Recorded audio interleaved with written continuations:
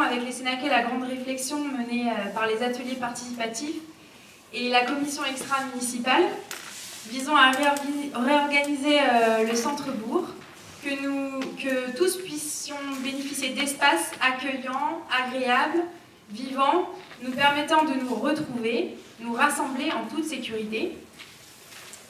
Euh, nous souhaitons euh, animer le centre-bourg par l'organisation de manifestations fédératrices et la mise en place d'un marché des producteurs mensuels en lien avec les commerçants du village et les viticulteurs locaux.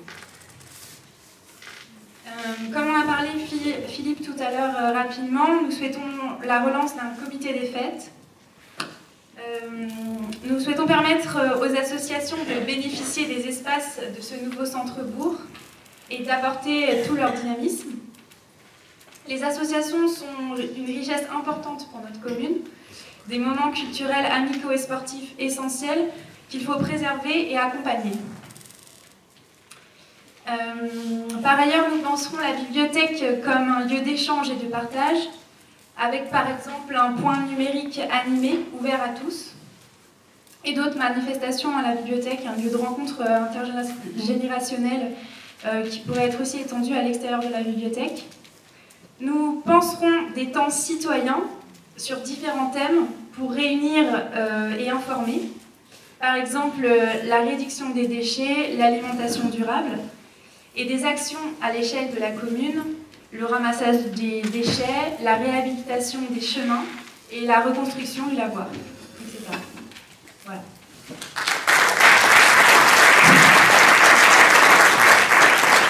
Alors, dans le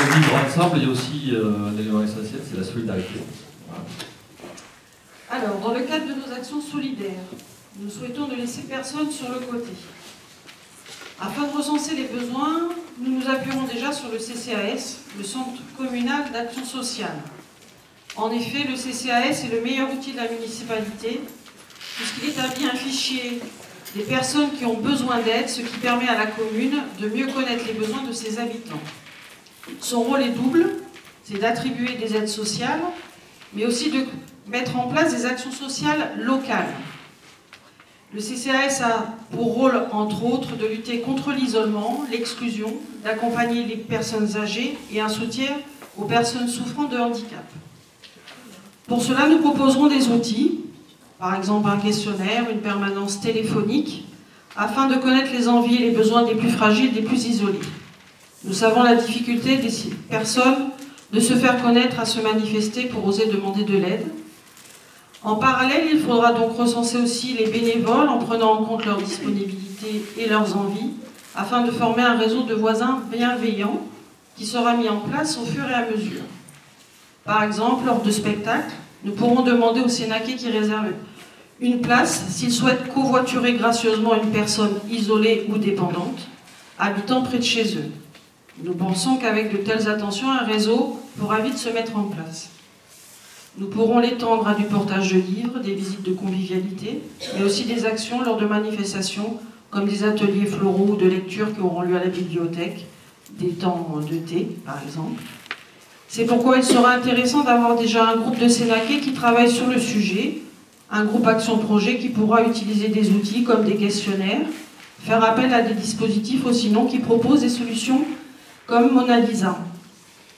Il faudra aussi réfléchir à un autre groupe de travail pour mettre en place des actions, pour se faire rencontrer les générations. Par exemple, partager les repas à l'école, la lecture aux plus jeunes par des anciens, et même, pourquoi pas, la présentation d'objets insolites, comme le disent aujourd'hui des enfants d'une autre époque, par nos anciens aux plus jeunes. Exemple, ben, un Walkman. Aujourd'hui, qu'est-ce que c'est pour les enfants eh ben, Il faudra leur expliquer que c'est l'ère du numérique c'était la base. Voilà. Merci à vous.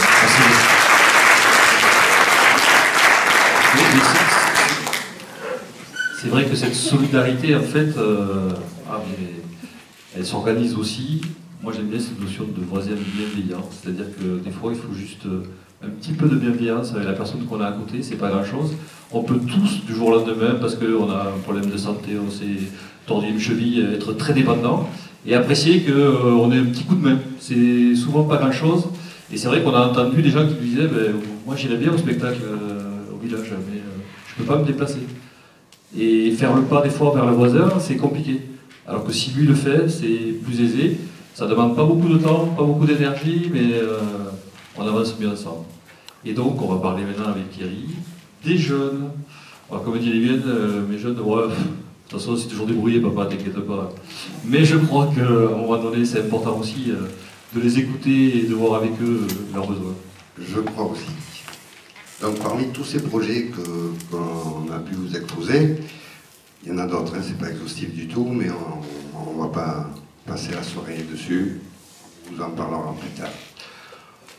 On, euh, voulait oublier personne et évidemment parler de, des jeunes, disons les 12-17 ans. Je pense en effet qu'il n'est pas utile et encore moins obligatoire d'être en âge de voter pour être considéré comme un citoyen participatif. Des jeunes qui travaillent sur un projet qui leur appartient se confrontent à des difficultés de réalisation, comprennent que leurs points de vue peuvent être différents, que des compromis doivent être faits, et c'est que collectivement qu'un projet peut aboutir. Sûr que nos têtes blondes fourmillent d'idées euh, diverses et variées, aussi nous voulons les rencontrer pour échanger avec eux sur leurs idées, leurs envies, sur leurs besoins surtout, pour aboutir sur un ou des projets concrets qu'ils auront choisis et que l'on mènera jusqu'au bout, jusqu'à sa réalisation en proposant un budget participatif. Voilà. Je vous remercie de votre, euh, votre écoute. si, si toutefois vous n'aviez pas eu euh, le, temps euh, nécessaire de, tout noter, même si je suis sûr que vous êtes bien plus habile que moi, plus rapide que moi pour les textos, sachez qu'il vous suffit d'aller sur notre site euh, il faut taper www.senac2020.fr où toute la restitution euh, de la réunion de ce soir est filmée également euh, sera sur le site. Donc, j'aurais peut-être dû vous le dire, ça vous aurait peut-être évité d'avoir mal au dos. Merci encore.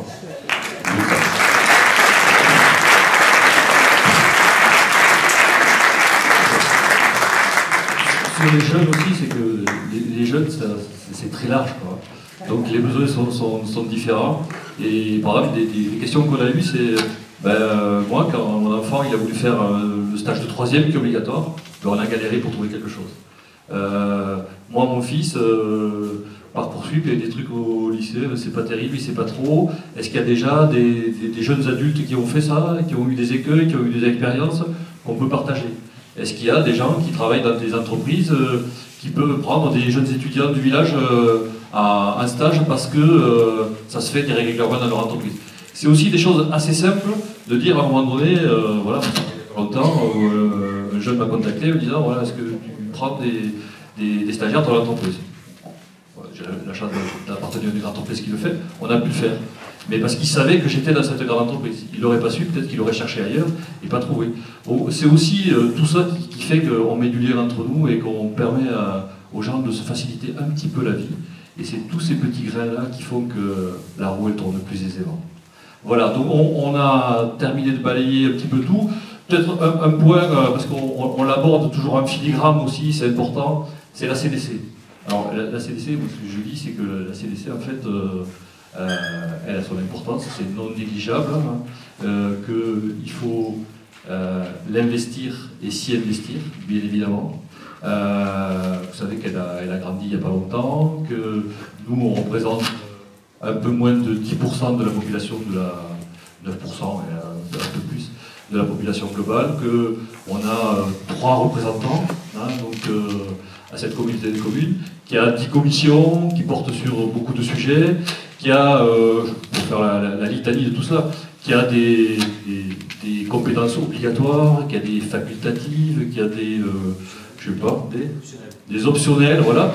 Donc il y a beaucoup de choses. C'est un, joli méandre Euh, quand vous regardez le site, c'est vrai qu'il y a des choses super intéressantes euh, en termes d'études, de regard, d'observation, de travaux qui sont faits aussi. Voilà, je pense qu'il faut que peut-être dans sa gouvernance, elle évolue. Alors on espérera qu'avec de nouvelles têtes, ça évoluera. Euh, ça va peut-être ajouter que tout soit mal, c'est pas tout ce que je veux dire, loin s'en faut. Mais là aussi, ça ne doit pas être un outil centralisateur, ça doit être un outil au service des personnes et donc, à un moment donné, euh, nos représentants, qu'ils soient euh, euh, élus au niveau de la CDC, c'est-à-dire que vous savez que il y a le, le, fait le, maire qui est, qui, est, qui, est, élu, plus pour nous deux représentants, il y a le, conseil des élus, et il y a aussi les commissions des conseillers municipaux qui participent. on s'aperçoit par exemple que sur les dix commissions, il y a certaines commissions qui se réunissent jamais. soit parce qu'elles n'ont pas de sens, ça m'étonnerait, mais voilà, donc à un moment donné, il y a aussi des choses qui, sont, euh, qui, doivent, être, euh, qui doivent évoluer, parce que c'est aussi des budgets très conséquents, hein, mine de rien. C'est-à-dire qu'on parle des budgets de la municipalité, mais n'oubliez pas que vous abondez, nous abondons tous au budget de la communauté de communes. Et donc, euh, au même titre que la municipalité gère les dépenses de la commune, la CDC, elle doit rendre des comptes aussi dans la gestion qu'elle fait au niveau de l'intercommunalité. Voilà, c'est ça. Et donc, nous, ce qu'on a euh, vraiment envie, c'est, je l'ai dit, je le répète, s'y investir et de l'investir. Voilà.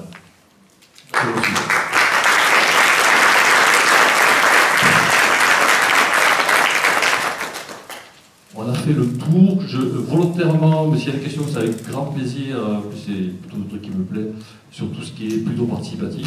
Déjà évoqué euh, en filigrane aussi le côté budget participatif, 50-50, les commissions extra-municipales il y a des choses qui existent. C'est pas non plus, euh, euh, comme je l'ai dit, hein, le, fait de, discuter pour discuter euh, autour d'une table entre potes. C'est pas du tout l'objet. L'objet, c'est d'être pragmatique, efficace, en écoutant les gens.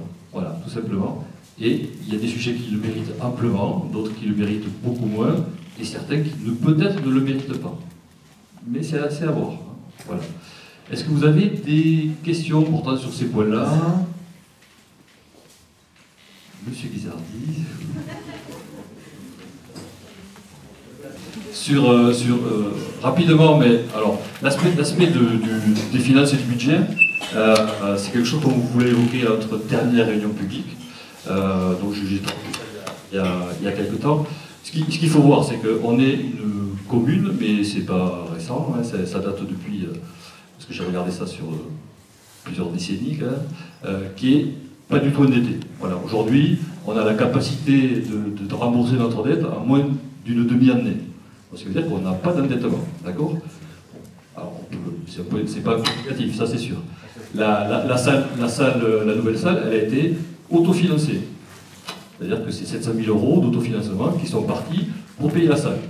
C'est un choix. C'est un choix. quand on regarde la situation euh, du budget, ce qu'on voit, c'est qu'en fait, les, les, de, recettes de fonctionnement augmenté euh, en 6 ans à peu près de 35%, et les charges de fonctionnement de 45%, ce qui est tout à fait maîtrisé, c'est pas un souci. Et donc il y a un excédent budgétaire qui se fait. Donc il y avait déjà de la marge sur un excédent budgétaire. Après, quand on regarde la partie d'investissement, c'est intéressant, la partie d'investissement qui est, quand même assez lourde. Ce qu'on voit, c'est que la partie des recettes d'investissement a augmenté de 200%. Et la partie des dépenses d'investissement a augmenté de 75%. Ce qui veut dire qu'à un moment donné, vous avez une ressource. Hein, quand on fait un on regarde comment on va le financer. Là, il n'y a pas besoin de le financer, il y a de la ressource. Ce qui veut dire qu'on a un excédent budgétaire qui est assez phénoménal pour une ville comme le nôtre. Alors, il vaut mieux ça que l'inverse, hein, Voilà.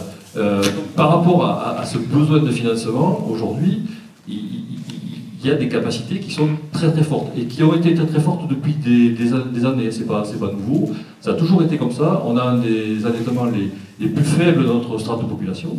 Donc, ce qui veut dire qu'en termes de ressources, c'est assez euh, assez impressionnant et ça donne des, ça veut dire qu'il faut tout dépenser. Et surtout quand on analyse à l'intérieur pourquoi ça a évolué comme ça? Ben, Ça a évolué comme ça, c'est que quand on regarde en fait les. Euh, alors ça vaut pour la communauté commune d'ailleurs, c'est à peu près la même, la même, la même évolution. quand on regarde à l'intérieur, en fait, vous avez des, les, taxes, les taxes locales, le poids, le poids de taxes locales qui n'a pas bougé. Par contre, vous avez l'assiette, c'est-à-dire le, nombre de maisons, notamment sur le bâti, c'est le bâti qui a, qui a énormément monté. Aujourd'hui, il y a autant de recettes de bâti que de, que de taxes d'habitation. Et, donc c'est cette assiette qui a monté, ce qui fait qu'en fait l'assiette a monté, alors je, je dis mais de mémoire, c'est c'est ça, c'est sûr. C'est 20% sur la taxe d'habitation et c'est 40% sur le foncier bâti. Donc l'ensemble des gens qui payent, en fait, a augmenté énormément. Donc en fait, ça veut dire que, grosso modo, à dépenses équivalentes, en fait, vous dégagez des structures de financement qui sont assez importantes. Mais ce qu'on voit aussi, c'est quand on le ramène par tête d'habitant. C'est quand même ça aussi. C'est que bien que le poids unitaire, le taux que vous payez, que je paye, n'ait pas bougé, le poids par habitant a monté. Alors ça ne veut pas dire que vous, individuellement, votre prix a monté. Ça veut dire que les nouveaux arrivants payent en moyenne plus cher. Je ne dis pas que c'est bien ou pas bien, c'est pas un jeu de valeur. Payent plus cher que ceux qui étaient là avant. Donc, on a une, des taxes locales qui a augmenté aussi en moyenne de 20% par tête de pipe, par personne, et de 40% sur le foncier bâti. Voilà. Ce qui est alors ramené à chacun, sur 6 ans, sur 6 ans, sur 6 ans, ramené à chacun, ça fait quelques dizaines d'euros. Et voilà ce que je veux dire. De mémoire, comme ça, c'est 60 euros pour la taxe d'habitation. Sur 6 ans, étalé sur 6 ans, hein, bien d'accord. Et ce que je dis, c'est que comme ça n'a pas bougé, à périmètre équivalent, vous avez votre maison, vous payez en 2012 euh, je dis n'importe quoi, 100, en 2020, euh, vous payez 100. Par contre, c'est nouveaux habitants qui, eux, ont, des assiettes un peu différentes. Voilà la, structure euh, du budget.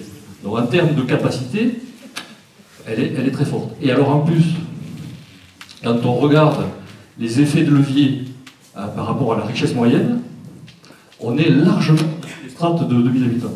C'est assez exceptionnel, tant mieux, mieux. Hein. Donc on a une situation financière qui est saine, voilà. Après, il y a des choix qui sont faits, plutôt d'autofinancer que d'emprunter. Bon, juste milieu, toujours, hein. aujourd'hui, l'argent, il ne vaut pas grand-chose.